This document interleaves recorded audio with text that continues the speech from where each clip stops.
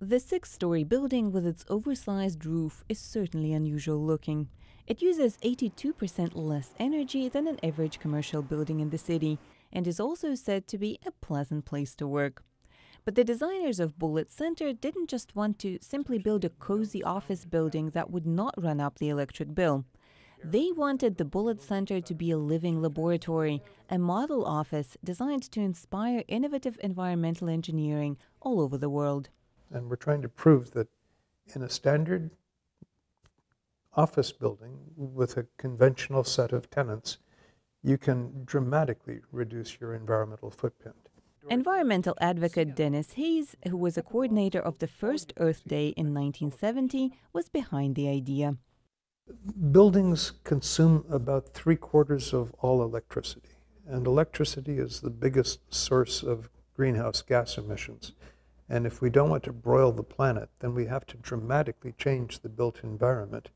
Built with heavy timber, concrete, and steel, 100% of the building's energy is generated on site using 575 solar panels placed on a rooftop that looks like a giant graduation mortarboard.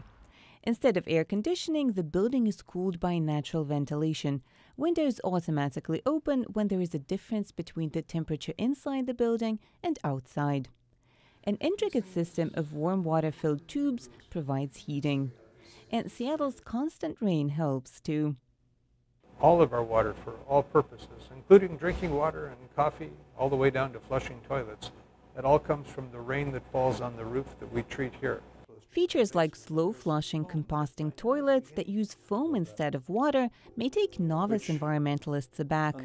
But there are architectural features that will take a visitor's breath away, such as a glass enclosed stairway called Irresistible. Super efficient buildings have to be designed for particular locations. So this is a building that was designed for Seattle. It would not work well in Moscow. It would not work well in Rio de Janeiro. It works perfectly in Seattle. In the past few years, thousands of professionals from all over the world have visited the innovative building to get inspired and to learn. For Natasha Mozgovaya in Seattle, Washington, Anna Rice, VOA News.